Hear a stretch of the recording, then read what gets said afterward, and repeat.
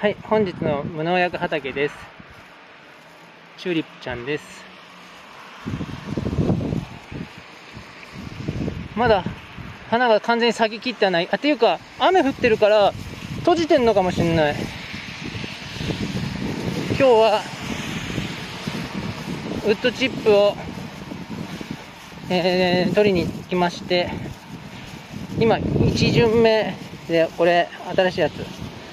とりあえずここに置いて、今度、巻く予定です。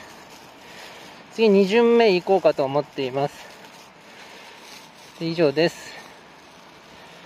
はい、えウッドチップ、これ今、3個やっちゃったんですけど、これ全部で20個あります。で、さっきも多分、10個、11個ぐらい、さっき数えたんですけど、10個ぐらいやってると思うんで、合計30個ぐらい、ウッドチップを今やっています。はい、えーウッドチップロード。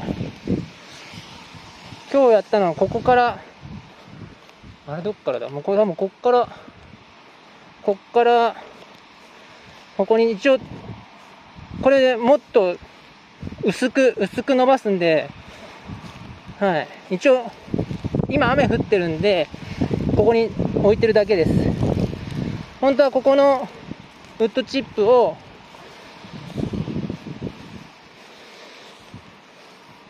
こっちのね、通路、通路側に敷いていきたいと思ってます。今これぐちゃぐちゃなんですよ。雨降ったりするとぐちゃぐちゃなんですが、このウッドチップを敷くことによって快適に歩けるようになるし、えー、雑草も生えてこなくなると思うんで、これはね、天気のいい日、やりたいなと思ってます。はい。で、今これ、袋出しちゃったんですけど、袋ある程度あった方が、こっちに持っていく際に便利かなと思って途中でやめました。だ20個あったんで、16個、16個この、ここに詰め込みました。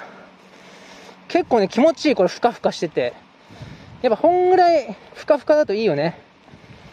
うん。まあ、そんな、ふかふか、じゃなくてもいいんだけど、ふかふかふかふかで気持ちいい。